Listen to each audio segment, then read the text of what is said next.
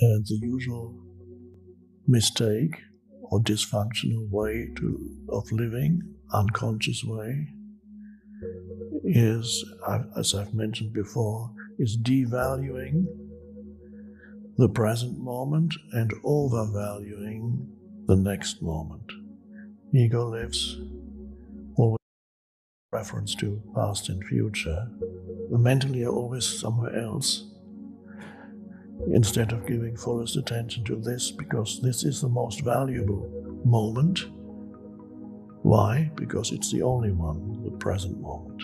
Give your fullest attention to this moment because it's not true that the next moment is more significant because it never comes. So there is a way of being totally present in the planning for the next for the future. It's all little things. And even the whoever, if you're the Pope or the president of a huge corporation or the president of a country, it's still the same. The present moment in its richness that is usually overlooked because you're looking for something more significant. It's not it's it's fine to achieve things, especially if they are beneficial. But for humanity and the totality on the planet, it's lovely to have that. But they don't even that doesn't make up your identity. The more you honor the small things, the more likely it is that you'll experience more good things in the so called future because you have such a good relationship with the present.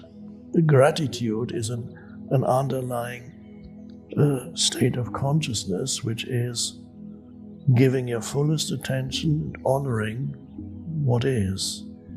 The, the power to manifest is in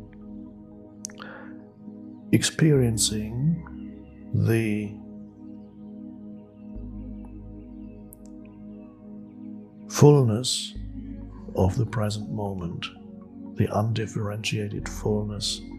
So, when you don't complain about not only not other people, but also about your life, then you can't be a victim anymore.